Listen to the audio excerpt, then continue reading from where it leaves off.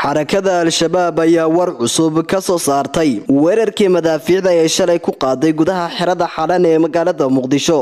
Qoraalkani oo ka soo baxay al-shabaab ayaa waxay guulo ugu sheegteen weerarkaasi iyaga oo shaaciyay inay ku dileen ilaa afar ajaanib ah oo ku sugnaa xeradaasi.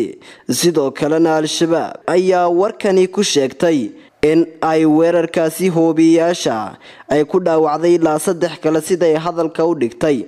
Duqayntii ay dagaalyahamada al-shabaab shalay ku qaadeen xalane waxaa ku dhintay afar ajaanabi ah. Saddex kalena dhaawacyo ayaa soo gaadhay ayaa lagu yidhi warka al-shabaab. Dhanka kale ma jiro wax weli hadal ah oo ka soo baxay taliska amison ee degan xarunta xalane oo ku aadanaa weerarkaasi. Xalane oo sidoo kale ay degan yihiin safaarado iyo hay'ado caalami ah ayaa waxaa xalay lagu qaaday weerar kale oo madaafiica inkastoo aan la ogeyn khasaaraha ka dhashay.